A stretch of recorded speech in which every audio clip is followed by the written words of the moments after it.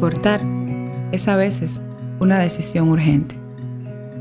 En muchas ocasiones implica renunciar a la forma acostumbrada de las cosas para dar paso a nuevas formas.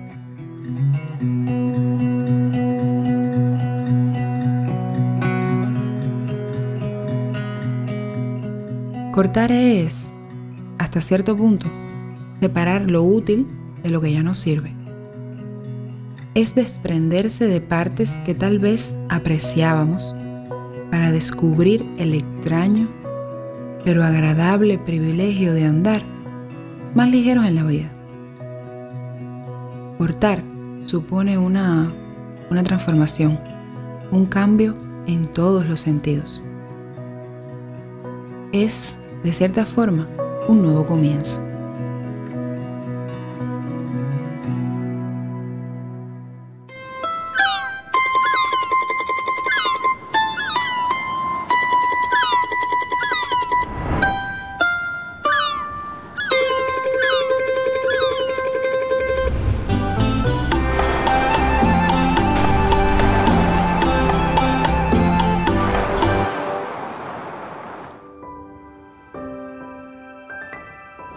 A veces cortar es un reto, pero ¿te ha pasado que te cuesta trabajo decidir el momento de romper con algo? ¿Eres de los que se piensan las cosas antes de hacerlas o de los que son más impulsivos? Si entendieras que es preciso cortar con algo de tu vida, ¿tendrías el valor de hacerlo? Vamos avanzando y conozcamos a los protagonistas de esta historia. Hoy, en Con la bici andando, la historia nos llevará a un lugar donde cortar es lo más importante, pero se hace para encontrar la belleza.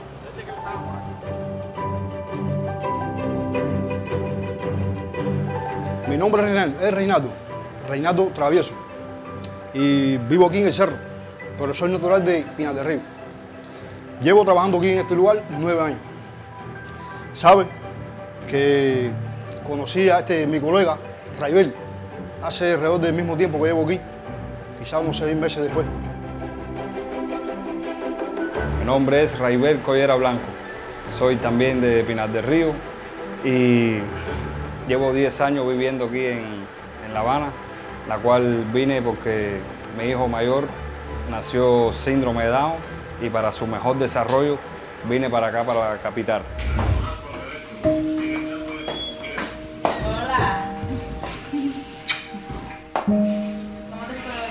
Bien. ¿Y tú cómo pasas el día? Sí. Hace un tiempo atrás éramos una familia que teníamos mucho, muchas diferencias entre nosotros como esposos, como matrimonio. Eh, teníamos varias discusiones, varias, no sé, eh, desacuerdos entre nosotros por situaciones ajenas al hogar. Pero un día, eh, cuando nos mudamos acá a La Habana, eh, por, por, el problema de mi niño mayor, mi esposo empieza a trabajar en una barbería en el casino. Allí conoce a un barbero, que es el que trabaja con él, que siempre le hablaba de, de Dios, pero mi esposo lo que hacía era reírse de él. Me comenzó a hablar de la palabra de Dios porque él es cristiano, llevaba muchos años en el Evangelio, pero yo ni caso le hacía porque estaba en, otras cosas que para mí era mejor que lo que él me hablaba de Dios. Él me invitaba a la iglesia y yo lo invitaba a la disco. Y yo le decía, vamos conmigo muchacho para que tú veas cómo tú vas a cambiar y tu vida va a ser transformada. Y claro, ¿no te ha pasado también? De repente aparece alguien en nuestro trabajo, en nuestro círculo de amigos e incluso en nuestra familia, que parece dispuesto a hacerte la vida más difícil.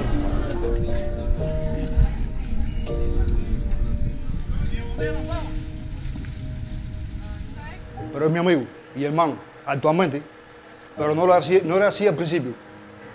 Comencé a hablarle algo acerca del Evangelio y él más bien lo que hacía era reírse del Evangelio. Incluso con los colegas que se sentaban, hablaba mal de mí. Por ejemplo, yo ponía Radio Enciclopedia para poder eh, tener un ambiente mejor aquí eh, en cuanto a una música clásica. Y él, para poder compartir conmigo, puso reggaetón en otro radio. Eso además se le ocurre a quien ustedes saben. Mi vida no era mi vida, era la vida de, de Satanás. Y era quien me utilizaba como un instrumento para hacerle la vida a un yogur, como se dice aquí a los cubanos, para amargarle la vida a él. Cuando él trabajaba y yo trabajaba con mis clientes, él me hablaba de Dios y nosotros nos burlábamos, nos reíamos.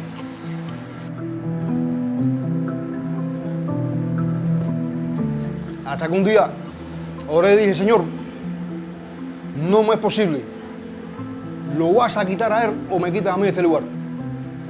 Esa noche oré en mi casa y casi llorando. Déjeme decirle que fue tanta la presión que tenía en este lugar que ya no me era posible que aún me pasé por un estado depresivo casi de un año completo. Pero Dios es un Dios de amor, el cual siempre y cuando vengamos arrepentidos de las cosas mal hechas que hayamos hecho, Él nos da el perdón. Ese es el amor que solo da Dios y que solo lo conocemos y lo experimentamos cuando nos ponemos a sus pies. Déjeme decirle, al otro día cuando llegué aquí me dijo, tengo que decirte una cosa, quiero que tú me expliques algo de la Biblia. Y le dije, Señor, entonces es el momento tuyo. Ahí fue cuando yo aproveché y le conté del gran plan de salvación que Dios tenía para con él. Aquí a la casa nunca vino hablando de Dios. Nosotros salíamos y paseábamos en la, en la vida normal que llevábamos. Nunca mi esposa había hablado aquí de Dios. De- luego de, varios años, cuando decidimos tener el segundo niño, ya eh, nuestra familia fue como que cambiando un poco debido a que ya mi esposo eh, como que estaba escuchando más las cosas que Travieso le decía. Un día llegó, no, mira, Travieso, te mando un cursito de, lo, de Hogar Feliz para que lo hagas. Cuando nace nuestro niño más pequeño, un día Travieso le, propone a Raiver que vayamos a la iglesia a presentar el niño. Él tenía a su niño recién nacido y aproveché y le dije, ¿por qué no lo presentas en la iglesia? Me dijo, tremendo, lo voy a presentar en la iglesia. Presentar a un niño en el templo. ¿Por qué esto puede ser importante? En los tiempos bíblicos se hacía, pero ¿por qué debe ser bueno hacerlo para las familias hoy?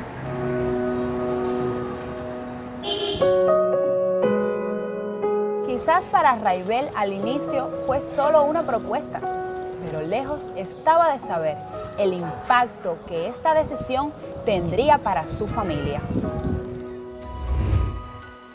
mi esposo me lo propone y yo le digo, bueno, está bien, vamos, pero no muy, no muy convencida porque realmente no, yo no conocía nada de Dios, yo decía que yo creía en Dios, pero a mi manera, yo no iba a la iglesia, no iba, no iba a ningún lugar, lo mío era la casa nada más. Eh, acepto ir con él y presentar al niño más pequeño de nosotros. Fuimos, presentamos al niño y realmente fuimos para quedarnos. Llegamos para quedarnos. Al principio yo veía los cambios en mi esposo y yo decía, yo decía para mis adentros, esto es una, una maraña de él, como siempre me hacía. Pero bueno, gracias a Dios eh, no fue así. Y nos pusimos de acuerdo en hacer una cosa. Yo voy a quitar enciclopedia y él va a quitar reggaetón. Y vamos a comprar un televisor y vamos a poner música cristiana de aquí en adelante. Y entonces, ¿qué creen que pudo pasar? Ya les digo, cuando una persona decide y deja que el Espíritu de Dios habite en un espacio, las bendiciones y el cambio comienzan a inundar a todos los que visiten ese lugar.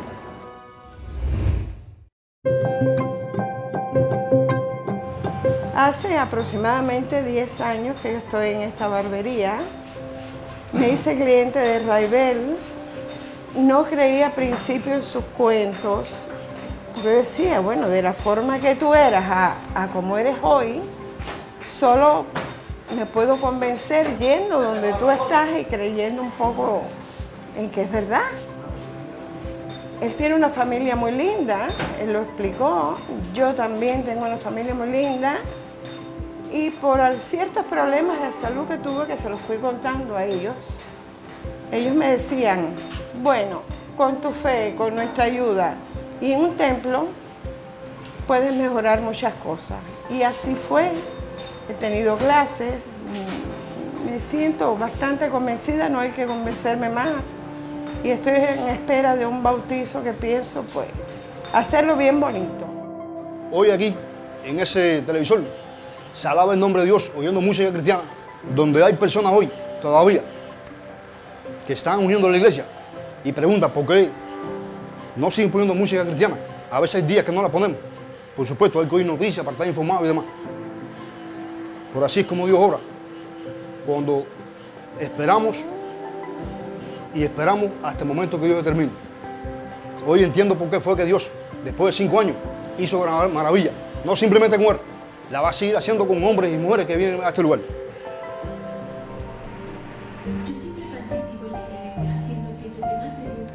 Gracias a que Dios tocó el corazón de mi esposo, mi esposo me habló a mí, fuimos los dos juntos a la iglesia con nuestros niños, estudiamos con Travieso y su esposa, y tomamos la, decisión de bautizarnos todos juntos. Nos bautizamos él, su hermana, mi sobrina y yo.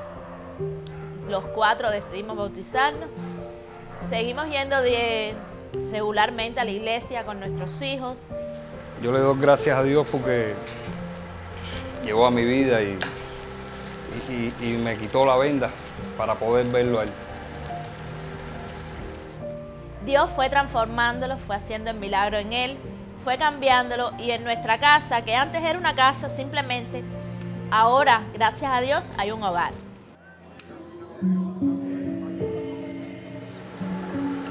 Hoy le agradezco al hermano que me hubiera hablado de Dios y de lo único que me arrepiento no fue haberlo conocido antes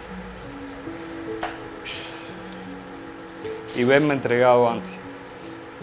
Hoy son miembros de la Iglesia Adventista del Séptimo Día yo y mi familia para la gloria y honra de Dios.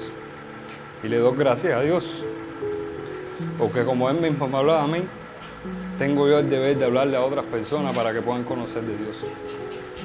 Inténtenlo y pruébenlo, que no se van a arrepentir nunca.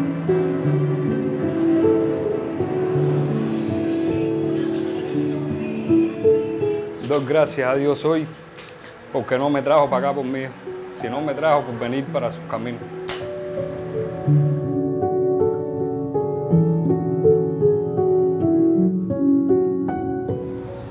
Cortar incluye a veces ser tajantes, cuando se trata de rebelarse ante cadenas que nos privan de disfrutar lo bueno. Es un paso que encierra bendiciones fascinantes. Es un milagro durante el cual no estamos solos, porque Dios nos ayuda en ese intento, personalmente. Sucesos como estos, que ocurren cuando las vidas cambian, son los que podemos comprobar precisamente de esta forma, en Cuba, con la bici andando.